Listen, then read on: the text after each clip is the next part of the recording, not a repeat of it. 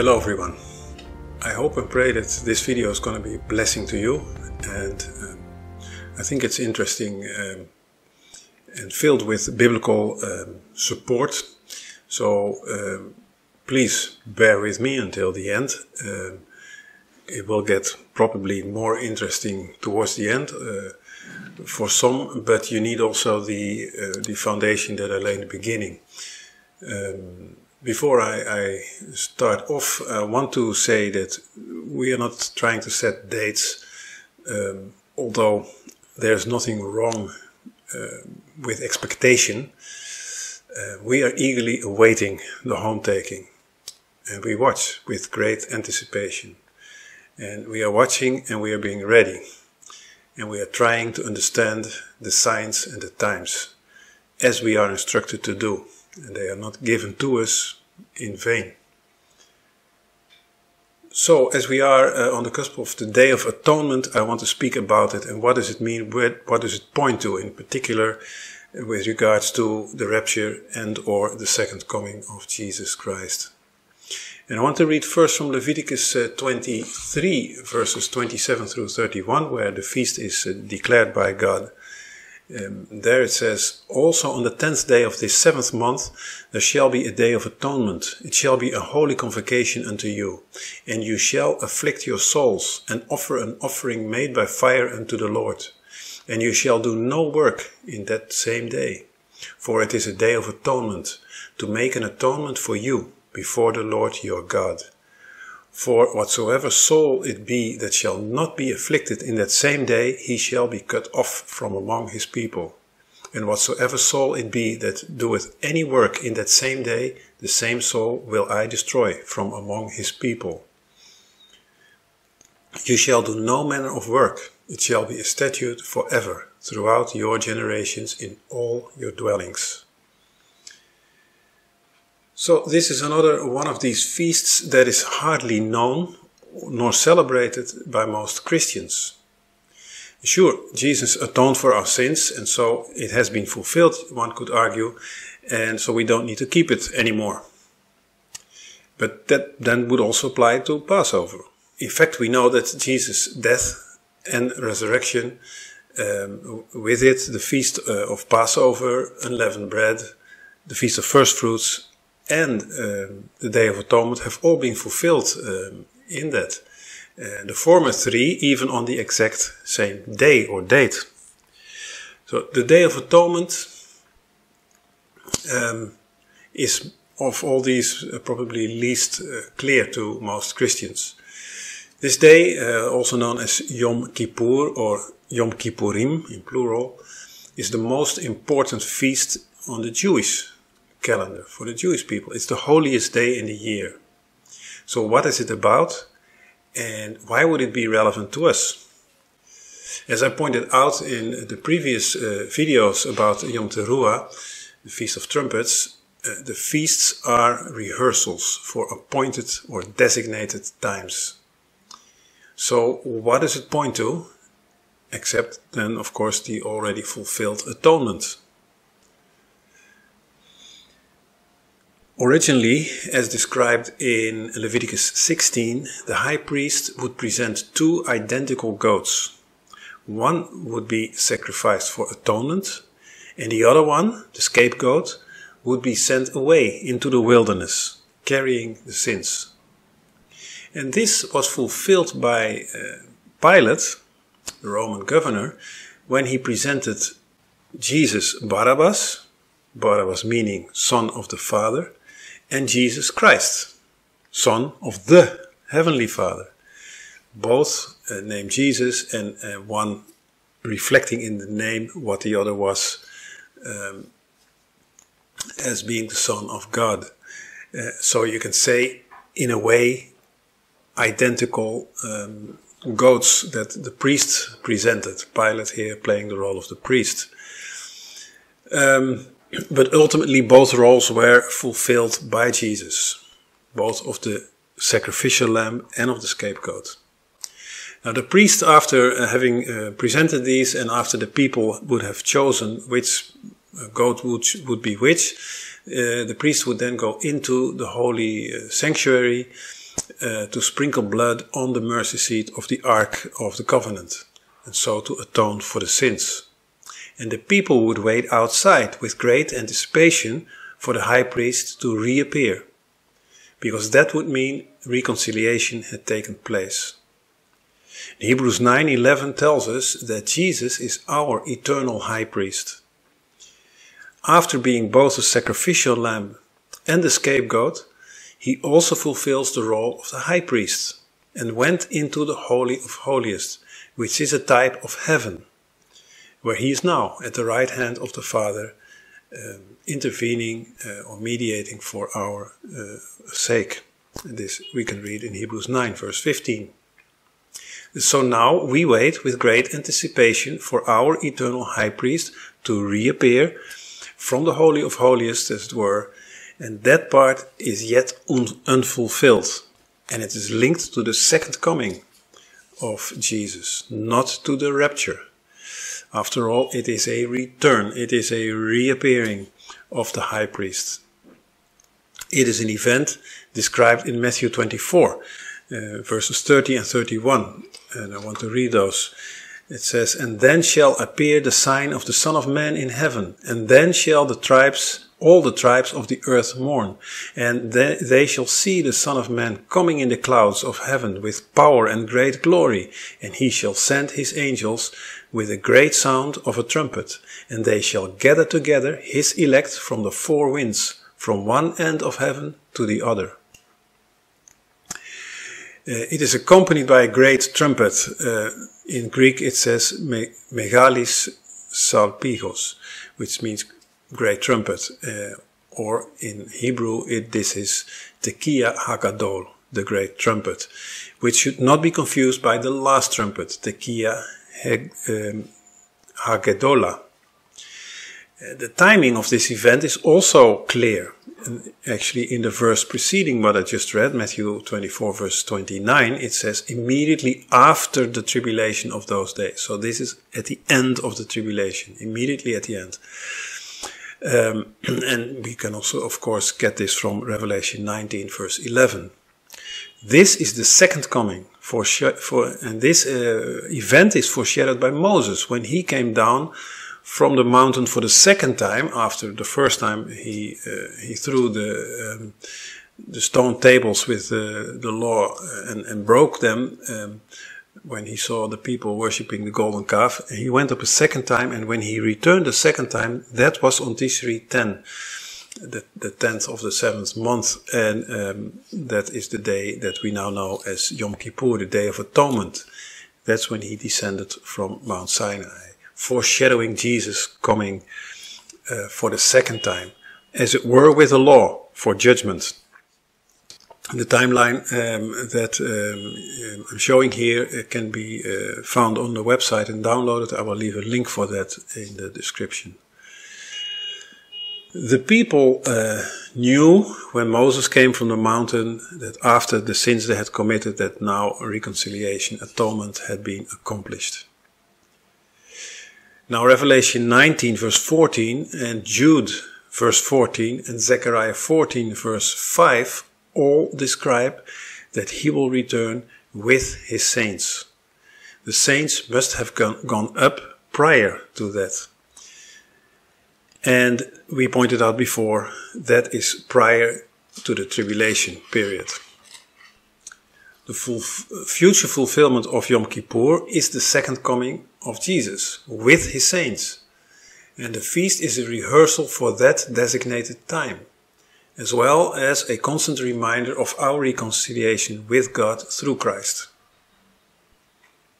Now, as I pointed out in a prior trumpet alert, the chief rabbis have determined that the new year that has just begun on Rosh Hashanah is a jubilee.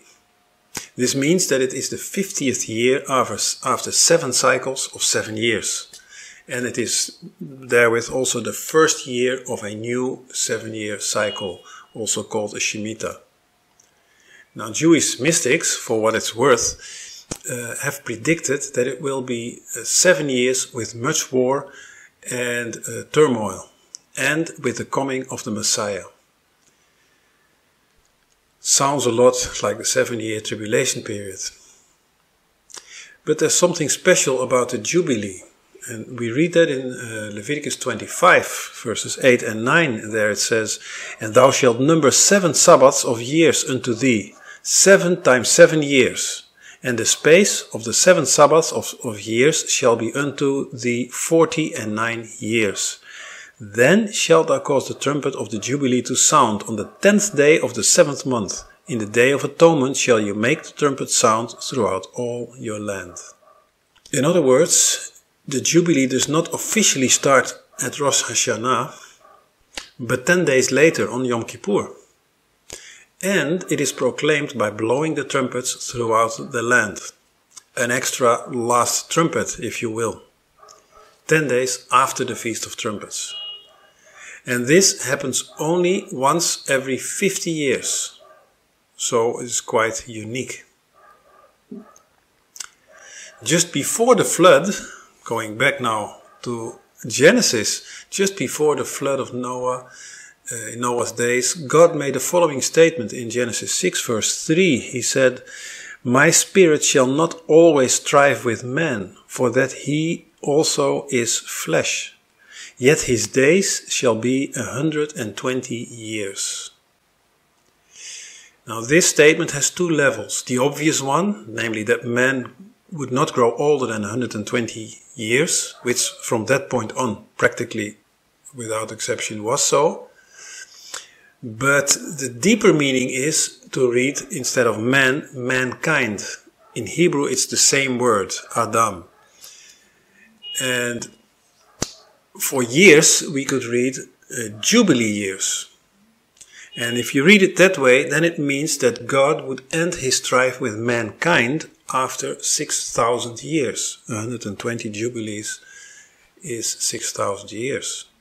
And that's a point in time where we have come, as I believe. Jesus was uh, born in the year 4000 uh, AM, Anno Mundi, since creation. And in Jesus' days, this was known, and even before he was born, it was known to uh, the, the, Jewish scribes that the Messiah would would be born in the year 4000.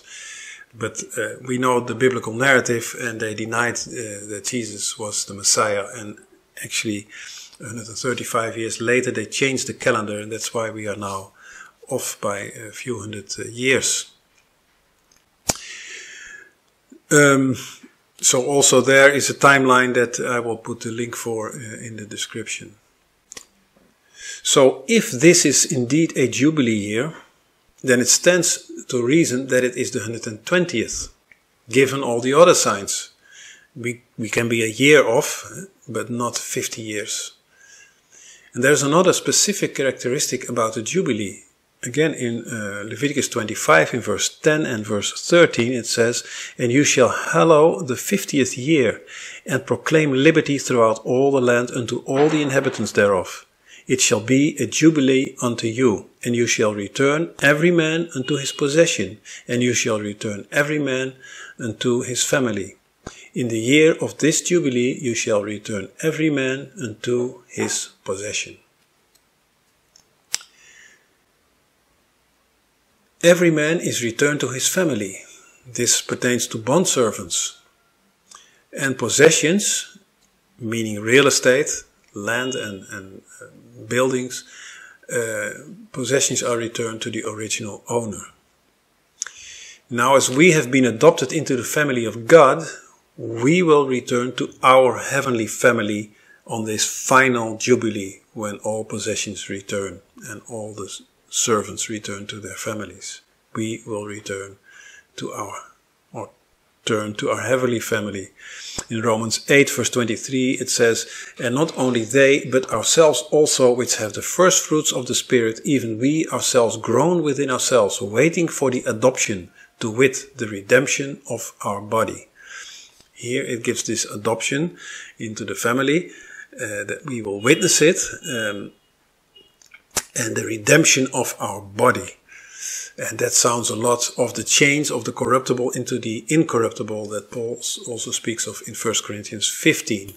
And we know that it speaks about the rapture. And the return of real estate is also applicable. When God created man, he gave him dominion over that entire piece of real estate called the earth that we can read in Genesis 1 verse 28. That real estate, the earth, will be returned to God, the original and rightful owner.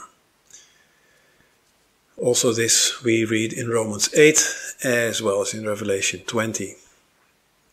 So the characteristic of the of the jubilee uh, apply to to God specifically uh, with regards to the final jubilee, the 120th jubilee. So if the seven year tribulation begins exactly when the rapture takes place, and if it ends with the second coming of Jesus, which it does according to Revelation 19 and Zechariah 14, then we see something peculiar. In the video about Yom Teruah, I explained that the great trumpet, the Tekiah Hagadol, is linked to the second coming. This is traditionally so, and it is confirmed by Matthew 24 verses 30 and 31 as we just read. So if the tribulation ends on Yom Kippur, and it starts exactly seven years earlier, 2520 days, then it also starts on Yom Kippur.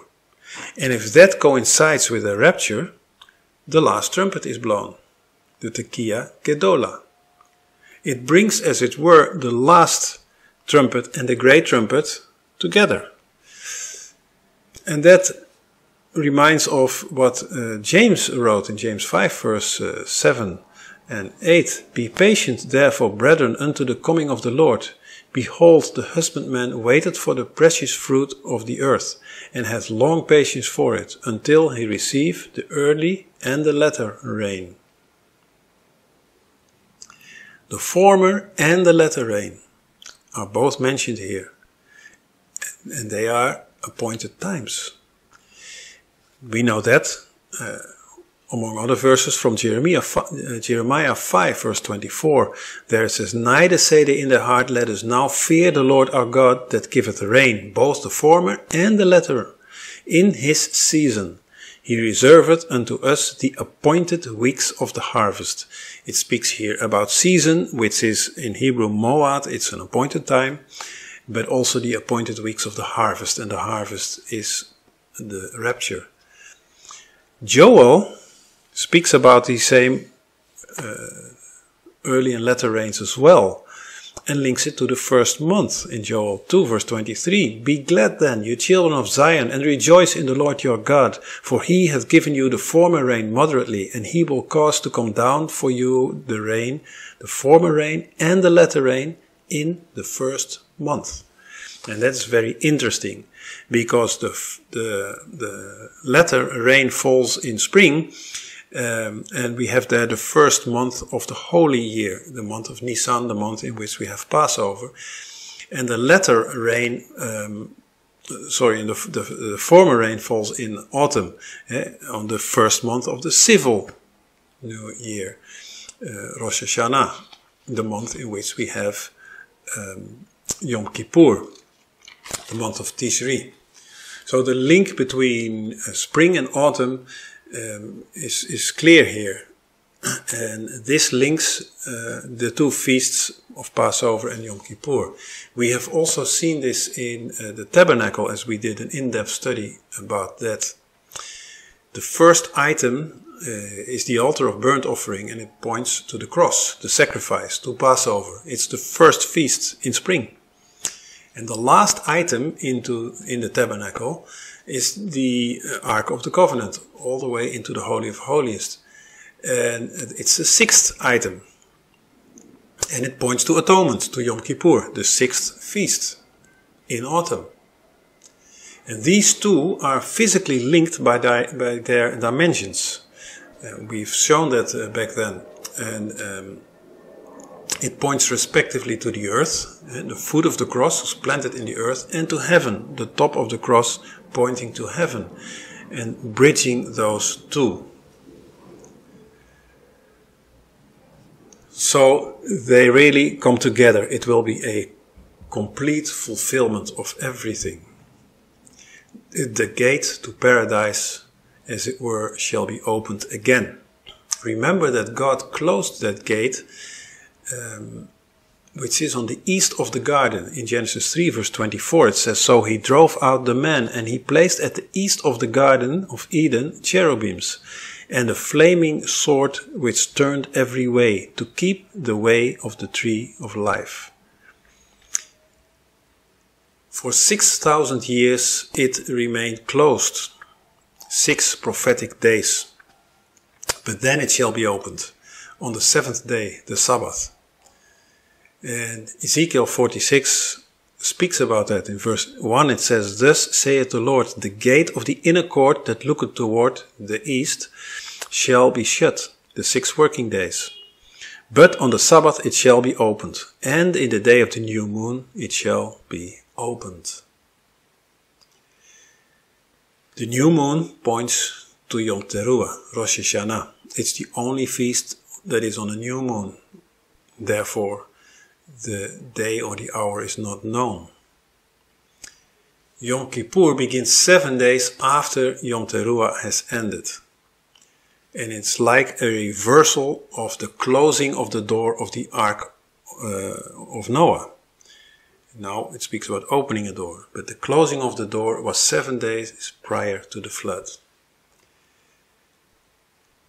So we see many signs, parallels, indications that um, show that it is very possible that Yom Kippur will not only be the day of the second coming of Jesus, but actually also the day of the home taking of the church, also known as the rapture. Um, it remains to be seen, but I think there is very much um, to to think about um, if we read all these verses and put things together. We live in exciting times, uh, and we see that uh, Scripture is full of exciting mysteries that we um, we are to study and to think about. And if uh, if the Spirit is uh, dwelling in you, you will have this yearning the Spirit and the bride say, Come. And um, I mentioned this also in previous video. Moses said it already. We can read this in Psalm 90. Return, O Lord, how long? And Jesus answers in Revelation 22, Surely I come quickly. Amen.